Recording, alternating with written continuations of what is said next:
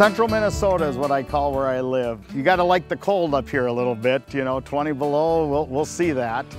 Been married for 34 years now. Um, two boys, they both are on the farm here with us. Everybody's involved 100% with our family operation. We've always been a registered herd. We've embraced new technology and everything. We've done some showing in the past. We've had some cattle out at World Dairy Expo. Lately, we've gone more to the genomic side of things. I think the embryo work and everything we do on this farm, it's the most productive work we're doing on our farming practice all the way around. We farm a thousand acres of corn and soybeans and alfalfa, but my embryo work, my genetic progress that we can keep making in this game has been our best return for our, our family farm so far. We want to keep the family farm going. You have to work the assets you have on your own dairy. I'm a guy who's not afraid to invest in an animal or into a cow family that I believe in to see if we can get a return on that investment. It's hard to pay for a really good cow just based on milk sales. So why not capitalize on her offspring or something and try to generate some additional dollars there, which the registered Holstein cow has allowed me to do that. Our embryo transfer work around here involves both conventional flushing and some IVF work. We go through and we genomic test our heifers. Then we start to look at the top 10% of our heifers and not necessarily the highest ones are the ones you're looking at. You know, I, I like to look at heifers that have unique traits that may be something we can emphasize and go forward. A2A2 is something we've been concentrating on here for a couple years. We have uh, identified it in certain milk and it's easier on the digestive system of people that are lactose intolerant. So of course, we all want to be able to have a product that everybody can drink and enjoy the benefits of. So now we're turning around and we're concentrating on A2A2 to try to make sure every mating has a chance of being an A2A2 mating. Some of these heifers that have these desirable secondary traits, so to speak, to make a product that can make a higher quality cheese or, or be more friendly to the consumer we have to look at those heifers and maybe she's not the highest ranking heifer in our program, but she's got all those other traits we're looking for. We have to move her up the ladder in our selection for who we're gonna flush and go forward with. They started flushing back in the early 90s, so some of these techniques are just built over the years. There are definitely advantages to the IVF and there's advantages to the conventional.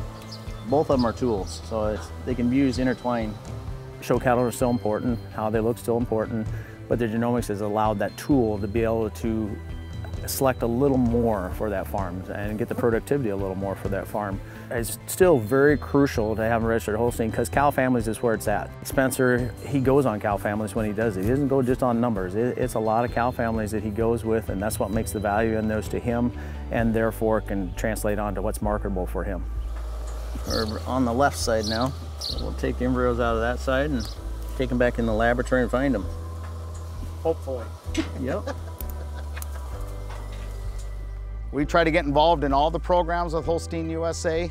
That's really where everybody finds me when they're looking is they made contact or looked at a list on Holstein USA and that made them order a pedigree which gave them my address, which gave them my phone number and the next thing you know they're coming right to my door to generate dollars for our family. There's good cows all over the country. They weren't put on this earth just to give milk. They were put on this earth to maybe reproduce and using technology to reproduce at a higher rate. I think the key to being good is being precise, no matter how long you've done it. But the, the fun part of embryology is always when you, you put the dish on here and you start finding embryos. We'll take them up to over 100 magnification to tell how good they are The first one looks like it has some promise here, even at the low mag. I couldn't imagine taking some of these really good heifers or really good young cows of ours and just being happy with one calf, hopefully every 13 months, you know? Yeah, it's an animal that we've been working with over the last couple years that did IVF the whole time. She's approaching 200 animals being registered out of her. So her production has multiplied that much just one animal. Basically, we're gonna load up the two embryos we're gonna transfer out of this flush. I load them in straws here, and we're gonna load them up to take them out to the recipients. All right, we should be good there. We're ready to go.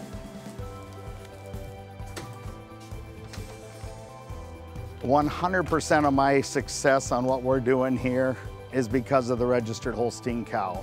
She's got the size and the capability and the genetic diversity that we can make her adapt to whatever the markets want us to do. The embryo work we do today is gonna be what we're hoping is in demand three years from now. If you're in a fluid milk market, breed for pounds. If you're a creamery or wherever you sell your milk in the part of the world you're at, they want high components. Well, with the Holstein cow, you can select those bulls to give you that really high component milk. And it's the registered cow that has turned around and made every cow better.